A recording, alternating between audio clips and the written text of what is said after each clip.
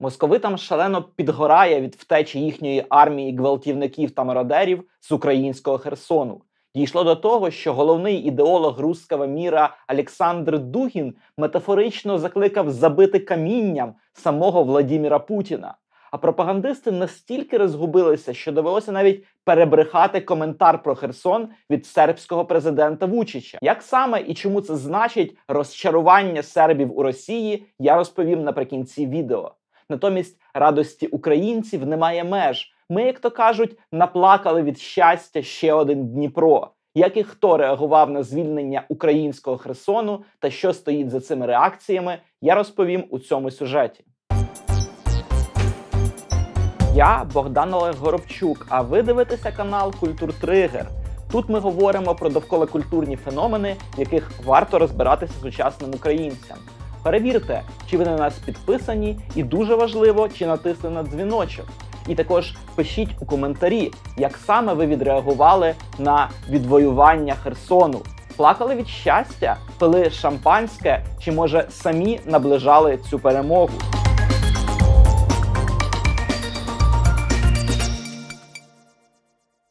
Як понесе з України у синіє море кров ворожу, ото й дія, і лани, і гори, все покину, і полину до самого Бога. Ці рядки Кобзаря цитували учора і продовжують цитувати сьогодні чимало українців. Серед них Сергій Стерненко, Таня Микитенко і багато багато інших.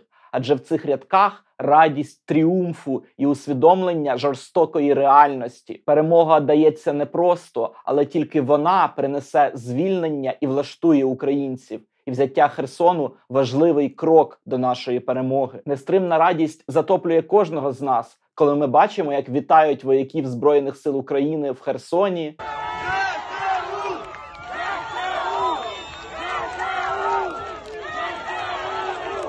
Як скандують наші українські гасла, повертаючи наш прапор на його законне місце.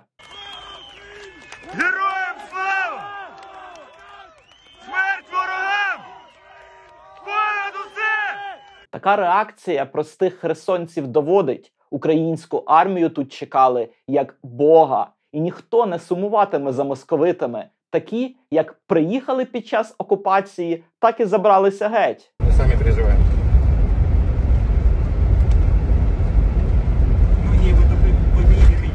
І у всьому світі бачать, що Херсон це Україна. Іноземці навіть починають шукати у своєму родоводі українське коріння, так їх надихає наша перемога. Паралельно з цим наші соцмережі повняться розчуленими дописами. Художник Грехов малює чергову зворушливу картинку. Українці тріумфують, але не лише. Адже всі ми чудово розуміємо, якою ціною дається нашій армії і всій державі ця перемога. Народний депутат Роман Лозинський, який служить у лавах Збройних сил України, влучно описав це ще одне не емоційне, а раціональне ставлення, стверджуючи, важливо, щоб ніхто не гнався за швидкими та гучними новинами.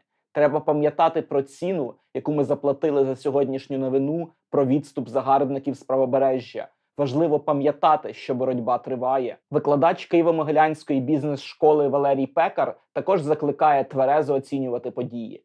Ми повернемося. Тепер стане гаслом росіян на наступне покоління. Вони будуть наполегливо плекати в собі образу, ресентимент, жагу помсти та реваншу. Тому наше завдання полягає в тому, щоб переключити увагу російських імперських шовіністів на ближчі проблеми, щоб вони не казали, ми повернемося в Херсон, Крим, Харків. А щоб казали, ми повернемося в Казань, Грозний, Новосибірськ. Пише він. І ще одна емоція, яка опановує українців від новин про звільнення Херсону, це іронія та сарказм на адресу окупантів. Я от ніяк не можу зрозуміти, навіщо РФ 8 місяців кошмарила Херсон. Усе було тільки заради того, щоб забрати прах Потьомкіна з міста і втекти. Та його б і так з радістю віддали, написала про своє місто журналістка НВ Крістіна Бердинських. А от в реакції росіянців іронії небагато. Вони хіба що здатні на ось таку самоіронію в одному з пропагандистських каналів, яку помітив Стерненко: Заходім, сворачиваємося. Хоча мушу заперечити, це ж ЗСУ їх свірнулі. Або іще один переповнений відчаєм та безсиллям жартик. На російських картах Херсон буде переименован на Херснім. Ось така цинічна і розпачлива реакція. Усе, що лишається московитам. Ну і ще хіба що заперечення, як неодмінна стадія переживання втрати. Ось як на одному з каналів намагаються видати щиру реакцію херсонців на появу в місті Збройних сил України, вдають, що це постановка. Або ось як російська пропаганда намагається приховати поразку в Херсоні якимись вигаданими успіхами на передовій. Ну як же це жалюгідно? А загалом росіянці у повній паніці та істериці. Їхні пропагандисти вже рахують тисячі квадратних кілометрів, нібито руської землі, яку відвоюють українці. Що це, якщо не маразматичне переживання поразки? Ясна річ, що домінуючий настрій росіянців можна описати як палання від здачі Херсону. Ось помилуйтеся на нацболку, яку затримали в Пермі. Вона вже передчуває відступ від Москви. Я чомусь певен, далеко не лише вона. Пропагандон Катьонок побивається, що Бог не дає армії гвалтівників та мародерів бодай якось воювати. Звісно ж, це Бог, а не ЗСУ. Ага. Але крім псевдорелігійного маразму, є в цій фразі іще одна емоція розчарування у владі. Ось це недостойне, достойне тих, хто вами править. Політолог Сергій Марков додає енергії паланню, фактично множачи Путіна на нуль, вказуючи на його повне абстрагування від ситуації щодо Херсону. Мовляв, замість бодай якось реагувати, він проводить переговори з Центральноафриканською Республікою, і це при тому, що Марков вважається прокремлівським політологом. Але найяскравіше на ситуацію відреагував головний ідеолог руского міра Олександр Дугін. Спершу він барвисто описав ступінь палання у росіянців. Барвистіше навіть я не зможу. Тут вам оці всі русські зжимають зуби від болі, ридають і страдають так, як якщо б у них вирвали серце. Але найцікавіше далі. Дугін починає котити діжку на владу, звинувачуючи самодержця Путіна у провалі. І далі він розповідає, що Путін не спас русських, стверджує, що за це його чекає судьба царя дождей. Цю нехитру антропологічну метафору легко перевірити у Джеймса Фрезера. Цар дощів це жрець у племені, відповідальний за викликання живильної вологи. Якщо ж дощу немає, тобто він не виконує своєї функції, його приносять в жертву, щоб вмилостивити богів. До того ж, у жорстокий спосіб його закидають камінням, і перший камінь має кинути його найближчий родич. Тобто, це прямий натяк на те, що за здачу Херсону Путін, на думку московицьких фашистів їхньої партії війни, заслуговує на жорстоку смерть.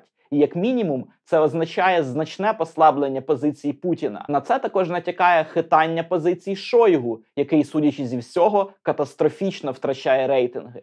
Одним словом, Росія посипалась. Звісно ж, це не могло не позначитися на міжнародному рівні. Французький президент Макрон, який, якщо пригадуєте, полюбляв надзвонювати Путіну, тепер щиро радіє з нами відвоюванню Херсону. Грузинська президентка Соломе Зоробішвіллі також підкреслила, що грузинський народ радіє разом з українцями.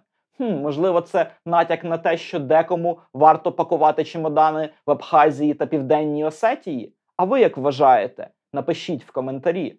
А поки ви пишете, скористаюся нагодою подякувати нашим прекрасним патронам. Імена найактивніших з них ви зараз бачите на екрані, але ми вдячні усім нашим благодійникам. Долучитися до них можна за посиланнями або номерами карток в описі до відео. Також ми започаткували банку на нову техніку для зйомок культуртригера. Для нас дуже важлива ваша фінансова підтримка, адже так ми можемо більше нашого часу присвячувати виробництву якісного українського контенту. Ганебна поразка московитів поставила в незавидне положення і одного з їхніх союзників у Європі, президента Сербії Олександра Вучича.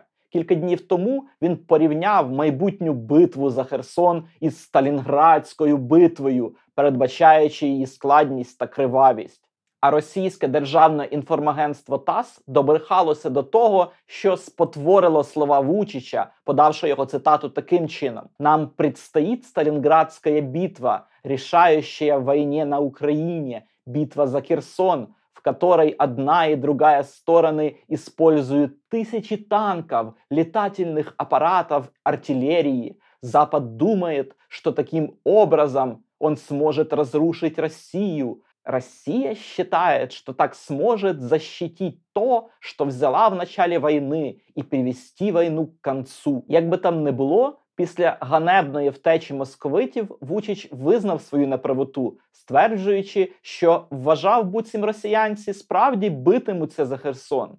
Далі більше розпропаганда цитує Вучича, мовляв, Сербії потрібно самим дбати про своє майбутнє. Ну тобто на Росію розраховувати сенсу вже немає. І в цих словах усвідомлення слабкості Росії, яке з боку їхнього союзника Сербії виглядає як повне розчарування. А за бажання за цими словами можна побачити й натяк на початок дрейфу Сербії у бік західних цінностей. А ви як думаєте? Напишіть у коментарі. А я тим часом нагадаю, що наблизити нашу перемогу можна донейтами на підтримку військових. Зокрема, це можна зробити через фонд Кому що треба. За посиланням в описі ви знайдете наші звіти, а також актуальні рахунки. Зараз ми збираємо на зимовий одяг для наших бійців. Дякуємо за підтримку.